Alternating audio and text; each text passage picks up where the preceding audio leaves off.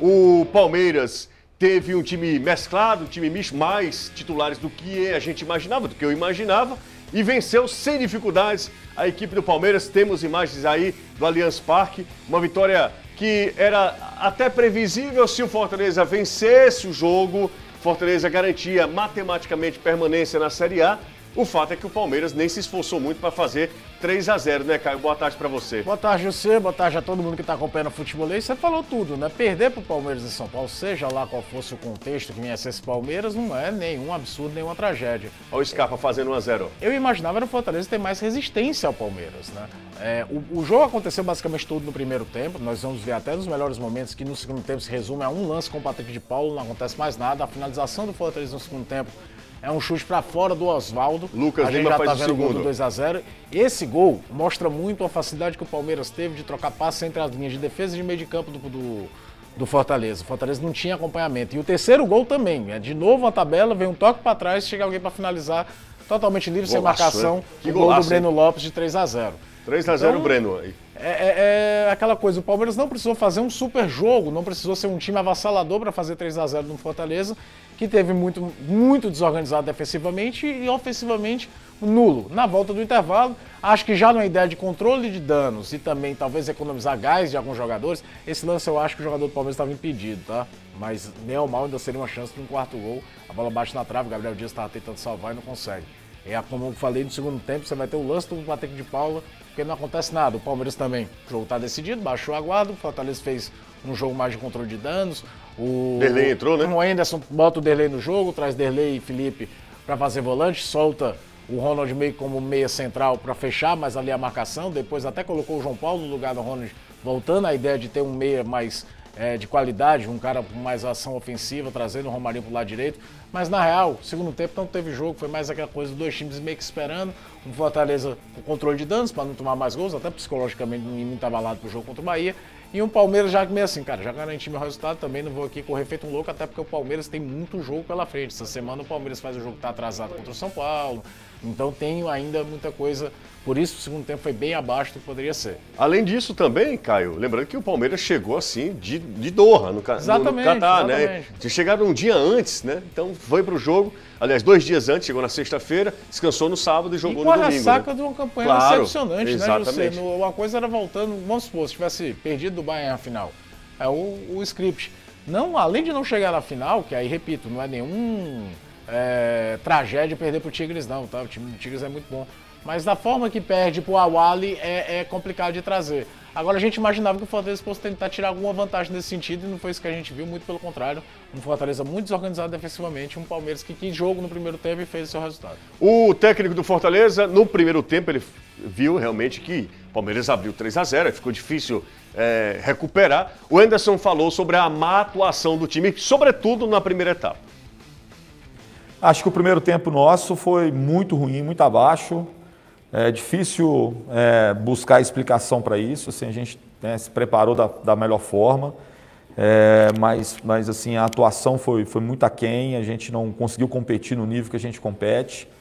A gente lamenta demais. Né? É, a gente quer oferecer para o nosso torcedor sempre jogos qualificados, que a equipe possa entregar né, é, tudo aquilo que, é, que, que eles esperam, mas foi um, uma, uma, uma noite assim, muito ruim, principalmente no primeiro tempo. Segundo tempo também acho que a gente conseguiu equilibrar um pouquinho, mas, mas não foi do nível que a gente está acostumado e é, infelizmente o resultado é, acabou escapando. Aí falou o Anderson Moreira, vamos falar, sair do Anderson, falar com o Anderson. Anderson Azevedo, 3 a 0 para o Palmeiras. A partir de agora é pensar no Bahia, sábado e aí de- decisão. É, se a gente Não já tem falou, outro- é, já, a gente já falou ao longo dessas, dessas últimas rodadas que o Fortaleza tinha partidas decisivas, essa mais do que nunca, porque se vencer, permanece. Dependendo dos outros resultados, Fortaleza pode até não vencer até o final da competição. A gente vai explicar, inclusive, numa postagem que está programada agora no nosso Instagram. Mas isso ainda pode acontecer. Só que aí é, é- é brincar demais com a sorte, né, Anderson? Boa tarde para você. Boa tarde, Sil, boa tarde, Caio, Danilo, amigo ligado aqui no Futebolês. É verdade.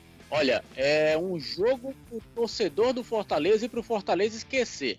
Agradecer ao Palmeiras por querer ter jogado apenas o primeiro tempo, porque se o Palmeiras resolve jogar os dois, ontem o Fortaleza teria saído com uma goleada homérica jogando em São Paulo, porque ontem o Fortaleza simplesmente não apareceu em campo. Quando a gente pensava que até a derrota do Vasco da Gama fosse dar um gás a mais, fosse dar aquele brilho a mais para que Fortaleza tentasse um resultado positivo diante do Palmeiras, o que se viu foi praticamente o contrário. Ou melhor, o que não se viu, porque não se viu Fortaleza em campo ontem. E agora o time deixa para o jogo contra o Bahia aquela que a gente já vinha dizendo já há algumas semanas. Se o Fortaleza fizer o dever de casa, se vencer os três jogos, Curitiba, Vasco e Bahia, se garante na Série A venceu o Curitiba, venceu o Vasco. Falta vencer o Bahia, que vai fazer no sábado o jogo da vida dele. É vida ou morte para o Bahia. Outro resultado não interessa que não seja a vitória. Ontem, até durante a transmissão, um torcedor mandou uma mensagem perguntando o Bahia, pelo que jogou contra o Atlético Mineiro, e o Fortaleza, pelo que jogou contra o Palmeiras, quem teria é, a vantagem para sábado. O cara até falou que não dava para tirar esse recorte apenas do campeonato, mas se for por isso, pelo que o Bahia jogou com o Atlético e pelo que o Fortaleza jogou com o Palmeiras, vai dar Bahia, porque o Fortaleza ontem simplesmente inexistiu dentro de campo.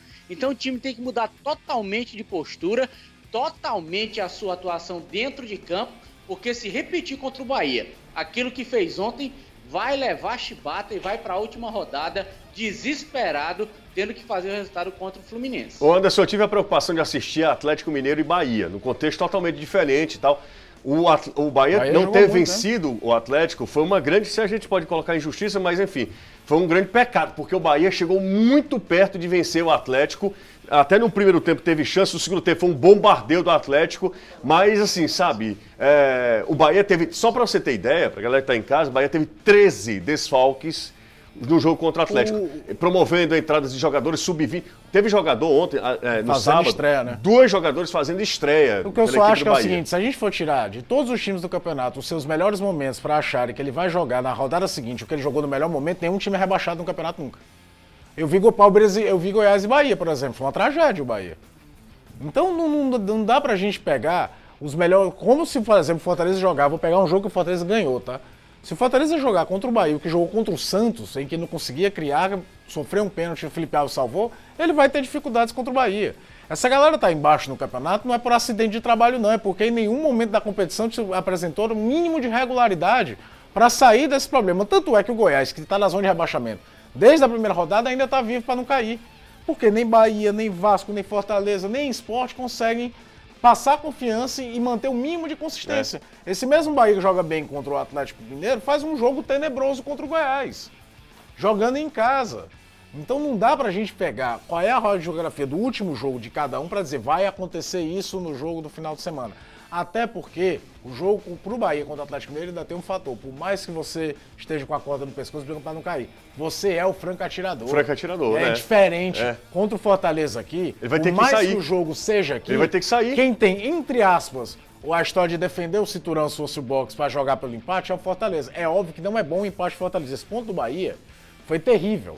Porque no empate Fortaleza e Bahia, na última rodada fica três pontos diferentes e o Bahia tem mais vitórias do que o Fortaleza. Aí o Bahia joga se o Fortaleza, se o Bahia o chega... último jogo, o Bahia... Não tô lembrado agora. Eu sei que tem Vasco e Goiás na última rodada. É, o Goiás pega Fortaleza, o Fortaleza o Vasco Fluminense. pega o Corinthians, falta um, a gente tem que pegar quem o Bahia pega. Eu não lembro como é Mas, contra assim, quem. Bahia pega Santos. Pega o Santos. Então, Em Salvador. foi horrível esse, esse pontinho, porque dá a chance do Bahia ultrapassar o Fortaleza pelos critérios de desempate. Se não tinha esse ponto, o empate contra o Bahia nesse último jogo agora era sensacional. é, exato. Quebrava, o Vasco vai pegar o Corinthians, você tem uma configuração, tem Vasco e Goiás um contra o outro. Então é de fato isso. O problema é que se a gente for tirar sempre de todos os times o melhor recorte deles, ninguém vai cair nunca, porque todo mundo teve algum momento bom no campeonato. Bom, o- Talvez menos o Botafogo. É, verdade, o Botafogo abandonou o o campeonato há muito Pois tempo, é. né? É, o Anderson Moreira falou sobre é, os erros que o Fortaleza cometeu, mas claro que reconhece também, ressalta a qualidade do Palmeiras, que mesmo não jogando com um time todo de titular, o Palmeiras mesclou, tinham seis jogadores titulares, né, que são considerados titulares, a, zaga, basicamente a zaga toda do Palmeiras, né? É, é um time de muita qualidade, mostrou isso ontem. Acho que a gente teve esse, esse problema, assim. Acho que em termos de organização, a gente teve falhas que a gente não estava tendo. A gente é, proporcionou muito jogo interior para o time do Palmeiras e a gente sempre bateu muito nisso. Eu acho que não encaixou e, e mérito do adversário que conseguiu produzir bem. É, e, e, isso eu falo, é, que às vezes a gente esquece também que a gente joga com equipes bem qualificadas, equipes que sabem explorar também algumas situações. Então tem a nossa parte que realmente a gente foi, foi mal, mas tem muito mérito também de quem a gente enfrentou que conseguiu criar situações é, de gol e chances e oportunidades. E a gente tem que reconhecer também o, a qualidade e o talento deles.